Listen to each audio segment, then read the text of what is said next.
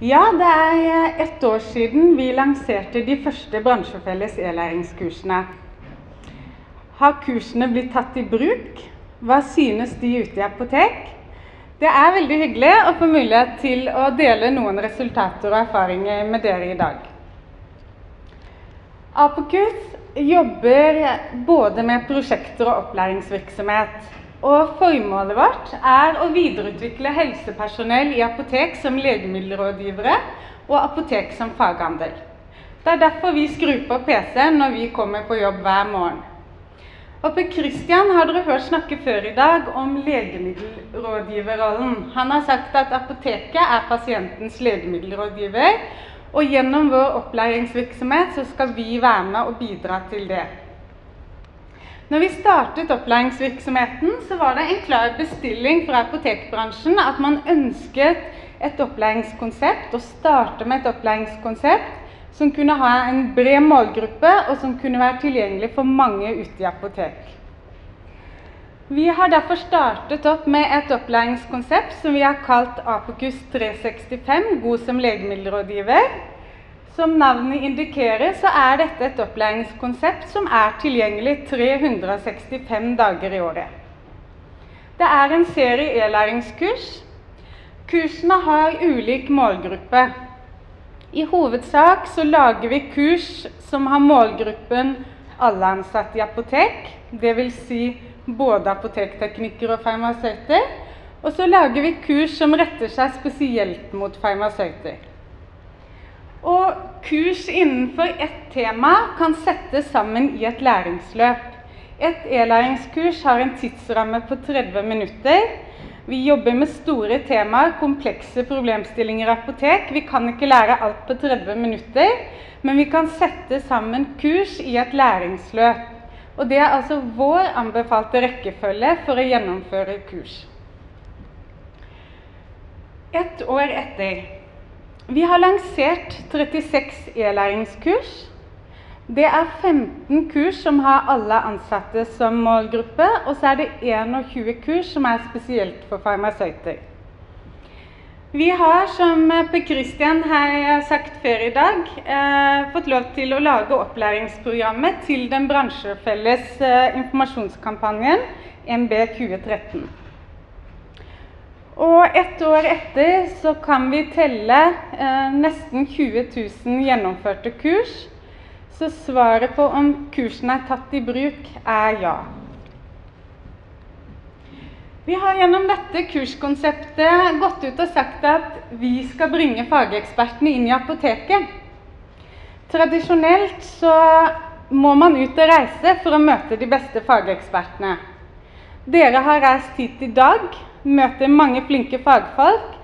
Men gjennom moderne teknologi så er det i dag også mulig å noen ganger bringe fagekspertene inn i apoteket. Og det gjør vi ved å bygge videoforelesninger inn i kursene våre. Og Da tenkte jeg skulle si litt om hvordan utvikler vi et e-læringskurs sammen med en fagekspert i korte trekk.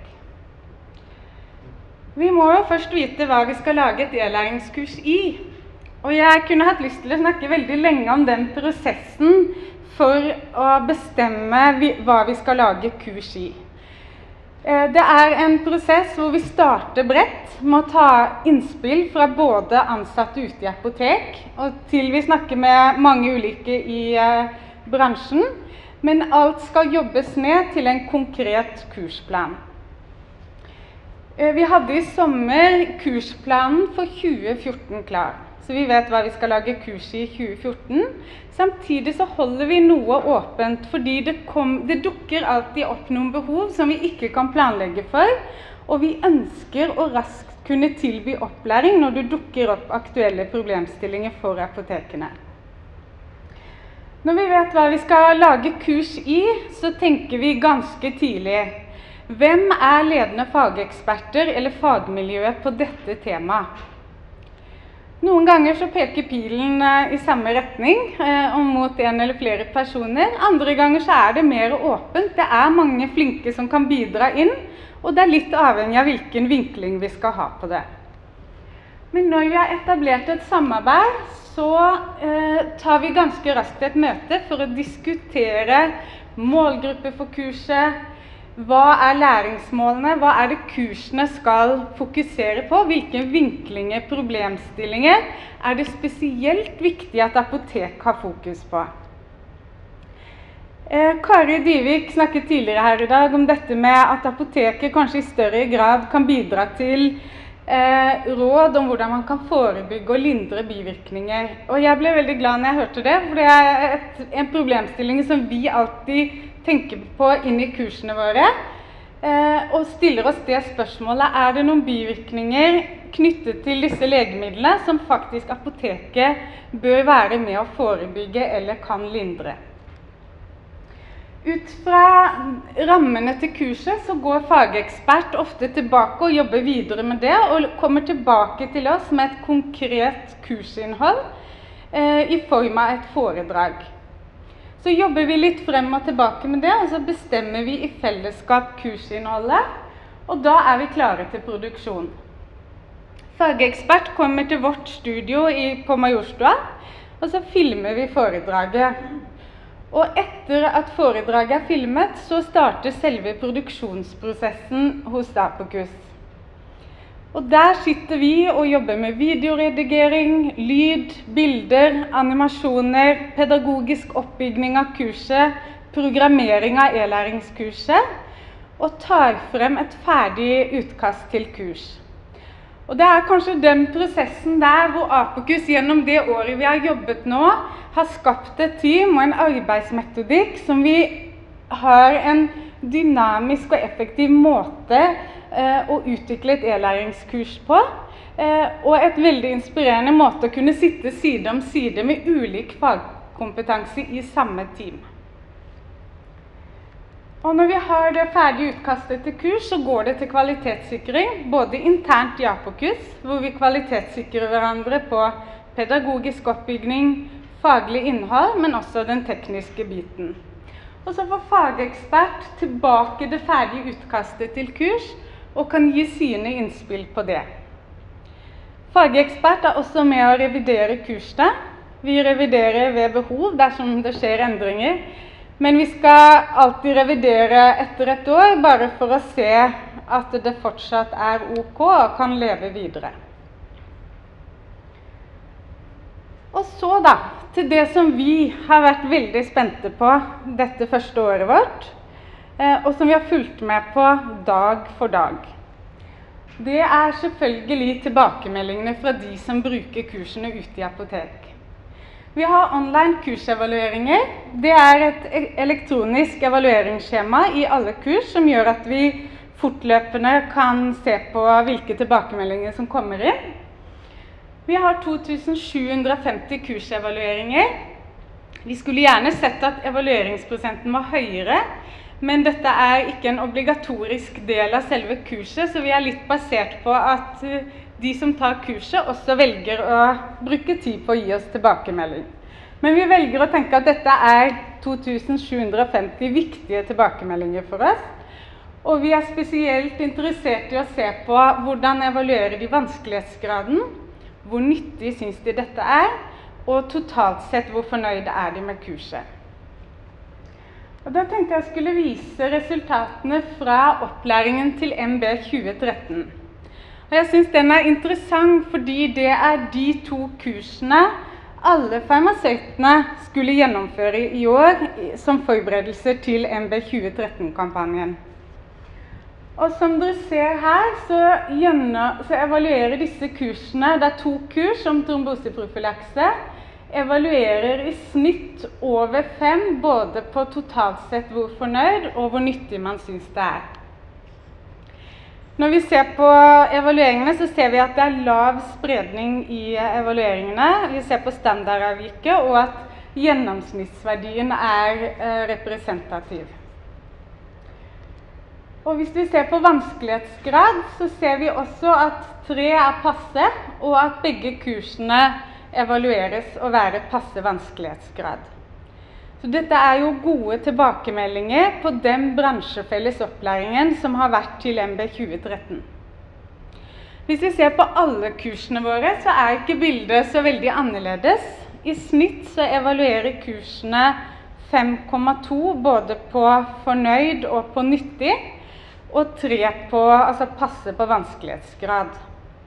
Så forenklet sett så kan vi si at kursene får terningkast 5 og en sterk femmer, og at vi har truffet på vanskelighetsgraden. Så eh, ønsket vi å se på de kursene som var felles for teknikere og farmasøyter, i hvilken grad eh, de, hvordan de evaluerer de samme kursene. Og når vi ser på vanskelighetsgraden, så ser vi at uh, teknikerne syns at disse kursene er passe vanskelig. Og ikke overraskende så sier farmasøytene at de syns de er litt lettere enn det apotekteknikerne sier. Men når vi går videre og ser på hvordan de evaluerer kursene ellers, så er de ganske samstemte på hvor fornøyde de er, og hvor nyttige de syns de er. Så farmasøytene er godt fornøyde med kursene. De syns de er nyttige, selv om vanskelighetsgraden er eh, passe mot litt lett. Og det er ingen motsetning mellom eh, disse kursene og da gå videre til kurs som er spesielt for farmasøyter, som har en høyere vanskelighetsgrad. Ingen eh, opplæringsmetode dekker alle behov, heller ikke e-læring. Og det er vi veldig bevisst på når vi jobber med det. Jeg skal bare si veldig kort hva som er mulighetene. Den, kanskje den største muligheten med e-læring er tilgjengeligheten. Disse kursene er i dag tilgjengelig hele tiden for over 90% av alle apotekansatte i Norge. Og så er det mulig å teste kunnskap. Man kan selvfølgelig ta kursene så mange ganger man vil. Og man kan gjennom e-læringssystemene dokumentere gjennomføring. Utfordringen eh, Det er alltid noen utfordringer. Jeg har valgt å sette opp tilgjengelighet en gang til. og det, Med det så mener jeg at fordi at kursene alltid er tilgjengelige, så er det alltid også mulig å utsette og skyve på det. Og Det betyr at det som for noen er den største muligheten, for andre blir den største utfordringen i forhold til å gjennomføre kursene. Um, et år etter så syns vi det er hyggelig å kunne si at e-læringskursene er veldig godt mottatt ute i apotekene. Det kan vi si ut fra evalueringene, men også de generelle tilbakemeldingene vi får på kursene. Vi tror at uh, disse altså bransjefelles kurs åpner for nye og spennende muligheter. MB 2013 er et eksempel på hvordan vi kan bruke bransjefelles kurs til å sette i gang en slik kampanje som vi gjorde på relativt kort tid. Det har vært mange gode og spennende foredrag i dag om uh, muligheter for apotekbransjen og apotekene som uh, pasientens legemiddelrådgiver. Uh, og jeg tenker at bransjefelles kurs blir et viktig verktøy inn i det arbeidet. Og så tror vi at fremtiden er mer blended learning. Det betyr bare at man setter sammen ulike opplæringsformer og tar det beste fra ulike opplæringsformer. Det er noe vi kommer til å jobbe med og har planer for i 2014. Men det er ikke alltid sånn at opplæring trenger å være bare organisert opplæring. Det er mener jeg, et potensial i apotek for å lage blended learning lokalt i apoteket. Og jeg tror det er noen uutnytta muligheter der. Jeg blir også veldig glad når jeg får henvendelser fra farmasøyter som forteller meg at de har blåst liv i gamle kollokviegrupper som har lagt død i mange år, og sier at vi skal ta det opp igjen, og vi gjør det med utgangspunkt i e-læringskurs. Det ligger noen muligheter her hvis man velger å se dem. Og så tenker jeg at I forhold til gjennomføring av opplæring i en travel apotekhverdag, eh, så er det også kanskje handler det litt om å tenke litt annerledes om gjennomføring. Tenke litt ut av boksen. Gjøre opplæring hyggelig. Og Jeg har bare lyst til å avslutte, eh, kanskje til inspirasjon for oss som jobber i Apokus, men kanskje også til dere. En apoteker som heter Vegard på Grünerløkka som uh, tvitret dette. Tusen takk for oppmerksomheten. Det er ikke reklame for sigarer. Det er mer en uh, uh, eksempel på hvordan noen gjør opplæring litt annerledes. Da vil jeg bare si at uh, vi i Apokus vi står på stand her i hele morgen også, så vi tar gjerne spørsmål og innspill på standen vår. Vi har egen hjemmeside, apokus.no. Og vi, også, vi trenger flere kollegaer, så vi snakker gjerne med dere hvis det er noen av dere som syns at dette med bransjefelles prosjekter og kurs er eh, spennende muligheter fremover. Takk for oppmerksomheten.